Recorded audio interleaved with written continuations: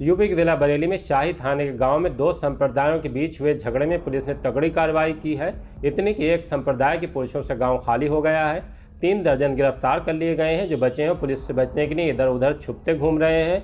भागने के चक्कर में दो युवकों को तो पुलिस ने मुठभेड़ के बाद पकड़ा है।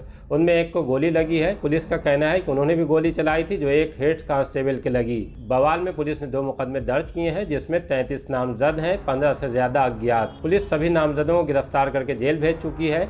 लड़ाई इस वजह से हुई कि गाँव की मस्जिद के बराबर वाले घर की छत से टार्च की रोशनी कुंदन लाल के घर में डाली गई। इस बात पर तकरार हुई, जो बवाल में तब्दील हो गई। पूर्व प्रधान हीरालाल और मौजूदा प्रधान दीनानाथ का इल्ज़ाम है कि दूसरे संप्रदाय के लोगों ने हमारे घरों पर धावा बोलकर मारपीट की, दरवाजे तोड़ दिए। उनके हमले में कई लोग घायल हुए हैं। एक की हालत गंभीर है।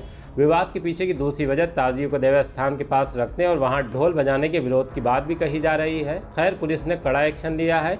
गाँव में फोर्स तैनात है। भाजपा सांसद छत्रपाल सिंह गंगवार और विधायक डॉक्टर डीसी वर्मा गाँव का दौरा कर चुके हैं।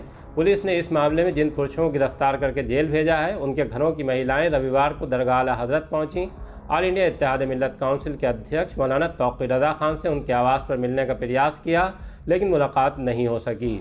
नदीम कुरैशी ने बताया कि मौलाना को बुखार आ रहा है, इसलिए वो महिलाओं से नहीं मिल सके। ऑल इंडिया रदा एक्शन कमेटी के राष्ट्रीय अध्यक्ष मौलाना अदनान रदा कादरी के पास गई तो बताते हैं कि उनसे भी नहीं मिल पाई। तब वो दरगाह हज़रत और फिर दरगाह ताजुशरिया के बाहर खड़ी हो गई।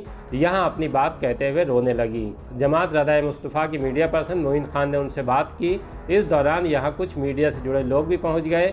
महिलाओं का कहना था कि दूसरे संप्रदाय के लोगों ने परंपरागत ताजियों को निकालने का विरोध किया था, लेकिन पुलिस ने ताज़ी निकलवा दिए उसी की रंजिश में हमला किया गया। शुएब अली, फ़हीम, जाबिर और रईस के चोटें भी आईं। शाही थाने की पुलिस ने हमारा मुकदमा दर्ज नहीं किया।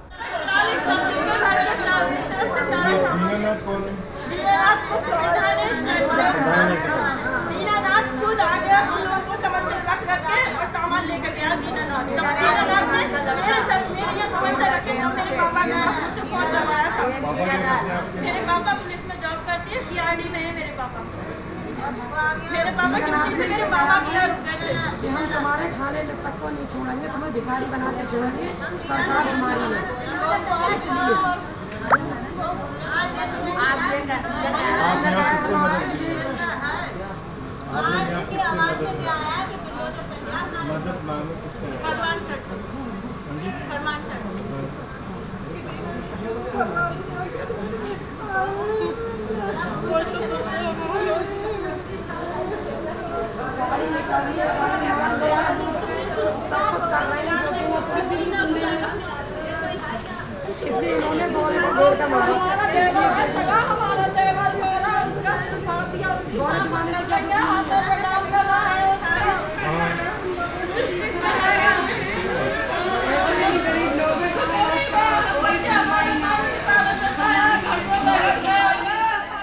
बाद में महिलाएँ एसएसपी दफ्तर भी गईं, लेकिन रविवार होने के सबब वहाँ से बैरंग लौट आईं।